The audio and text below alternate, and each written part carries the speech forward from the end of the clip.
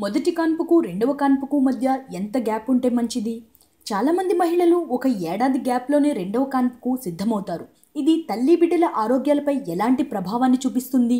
అసలు మొదటి కాన్పుకు రెండవ కాన్పుకు మధ్య ఎంత గ్యాప్ ఉంటే మంచిది? ఈ విషయాల గురించి ఇప్పుడు తెలుసుకుందాం. డబ్ల్యూహెచ్ఓ ప్రపంచ ఆరోగ్య సంస్థ ప్రకారం మొదటి కాన్పుకు రెండవ కాన్పుకు మధ్య రెండు సంవత్సరాల తొమ్మిది నెలల కాలం ఉంటే మంచిది. భారత ప్రభుత్వ మహిళా శిశు సంక్షేమ శాఖ వారి ప్రకారం మొదటి కాన్పుకు రెండవ కాన్పుకు మధ్య మూడు సంవత్సరాల గ్యాప్ ఉండాలి. చాలా అధ్యయనాల ప్రకారం పద్దెనిమిది నెలల గ్యాప్ మెయింటైన్ చేసినా చాలు. దీని ప్రకారం మొదటి కాన్పుకు రెండవ కాన్పుకు పద్దెనిమిది నెలల నుండి మూడు ఏళ్ళ మేరకు ఎవరి పాసిబిలిటీస్ని బట్టి వారు గ్యాప్ ఇచ్చుకుంటే తల్లికి బిడ్డకు చాలా మంచిది. మన దేశంలో ఎనభై ఆరు శాతం మంది గర్భిణీలకు నార్మల్ డెలివరీ అవుతుంది. అంటే మిగిలిన పద్నాలుగు శాతం మందికి సిజేరియన్ అవుతుందన్నమాట. నార్మల్ డెలివరీ వారితో పోలిస్తే సిజేరియన్ వాళ్ళు రెండవ డెలివరీకి కాస్త ఎక్కువ గ్యాప్ తీసుకోవడం ఉత్తమం.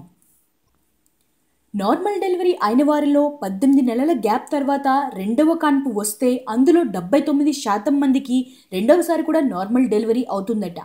మిగిలిన ఏడు శాతం మందికి వివిధ కారణాల రీత్యా సిజేరియన్ అవుతుందట.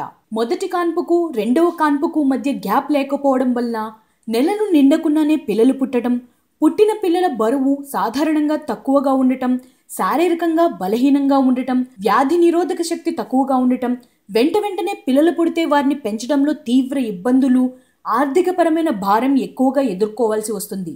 మానసిక ప్రశాంతత కూడా దెబ్బతింటుంది. ఇలాంటి మరెన్నో ఇంట్రెస్టింగ్ వీడియోస్ కోసం మీరు తప్పకుండా మా ఛానల్ను సబ్స్క్రైబ్ చేయండి.